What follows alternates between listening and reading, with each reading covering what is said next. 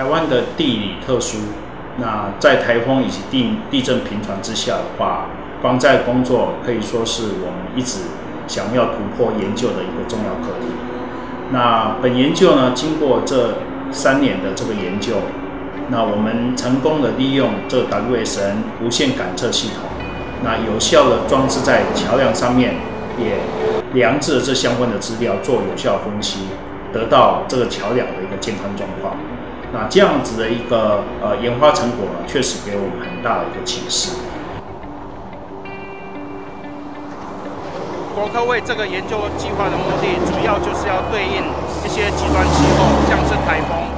那台风洪水一来的时候，桥梁的桥墩会受到很大的水的冲击力，而造成它的桥墩被冲刷。那当桥墩冲刷到一定的程度呢，它就会垮桥。所以研究这个国科会研究计划主要目的，我们就希望能够来量测这桥梁受到这个冲刷的影响到底有多深。那我们呢？呃，研究团队是台大跟成大联合起来，对于这个监控它的这个自然频率呢，啊，利用这个桥梁的自然频率，我们来监控它到底有多深。所以我们就制作这一个呃无线的这个感应盒。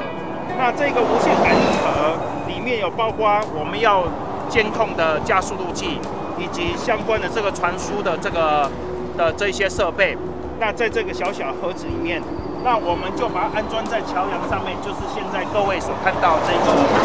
监控盒上面。那这个监控盒，呃，得到讯息之后呢，我们会借由这个 WiFi 五 G 的传输传输天线呢，传输到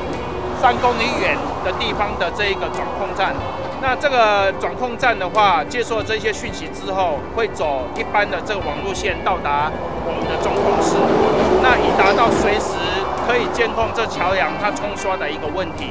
那让这个未来的管理单位呢，可以及时掌握目前桥梁的最最重要的一个呃现象。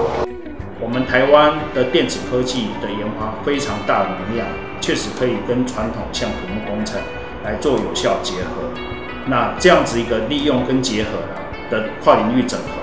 确实可以协助我们来做这个防灾的一个工作。所以，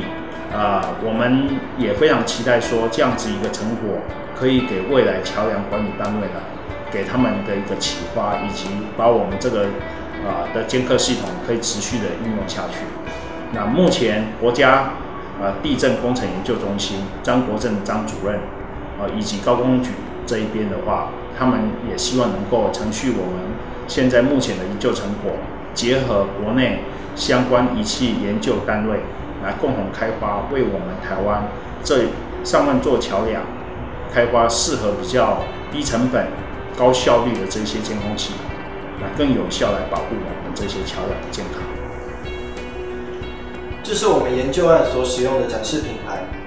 我们的目的是希望可以让一般民众更可以了解到我们中沙大桥上面的设备是怎么操作的，所以我们把中沙大桥上面的传输模组以及加速度规建立在我们的模型上面。那这边这个是属于高埋设的桥墩，这边这个是属于低埋设的桥墩。我们借由收取加速度讯号的方式来分析出它们现在频率值的不同，借此我们就可以判断说这条桥梁是属于安全或是危险的状态。我们在这个计划里面所采用的无线感测器网络技术，主要根源于利用微小化的感测器，将其所收集到的资料利用网络系统，把资料传递到中枢，然后进行统一的分析。这一方面的技术已经被界定为下一个时代智慧型的技术。原因在微小化的感测器里面呢，它可以与我们生活融合在一起。以这个计划为例，就是我们把微小化的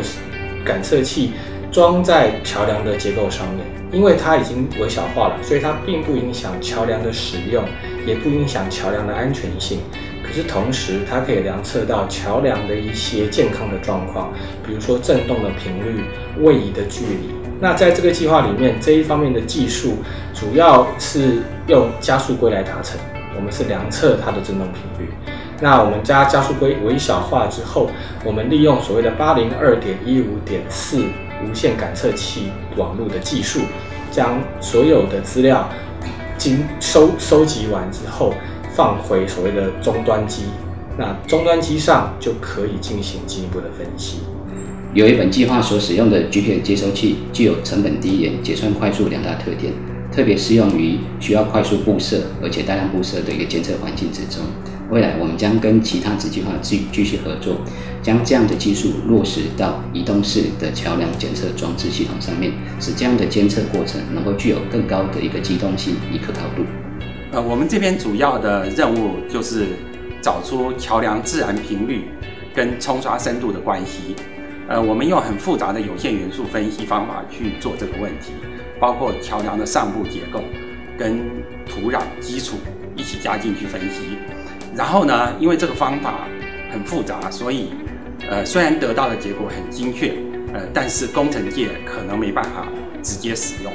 呃，因此我们又呃修正了目前大家时常用的土壤进度弹簧法。呃，我们也。把这个方法加进去，然后分析了大概有上千个例子，然后跟我们复杂的有限元素分析去比较，然后结果我们发现，呃，非常精确，呃，因此这个方法呢，我们就可以提供出来给工程界使用，呃，工程界在做结构分析设计的时候，就可以顺便，呃，执行这个分析，把桥梁的自然频率跟冲刷深度的关系把它做出来。我这边最主要的工作就是让朱教授模拟桥梁自然频率与桥梁冲刷深度之间的关系进行分析。啊，由于这样的模拟成果啊数量资料相当的多，那因此来讲，在判读上面，我们就采用所谓最佳化的方法以及一些判断的方法来进行。啊，出来的结果呢，就可以了解到桥梁它在安全上面的一个关系跟自然频率以及啊冲刷深度之间的关系。本团队首先要感谢国科会这三年来的支持，以及过程当中的协助。那在现场监测仪器的部分呢，要感谢国家地震工程研究中心以及高工局，他们在过程当中的协助，让我们这整个监控仪器的装设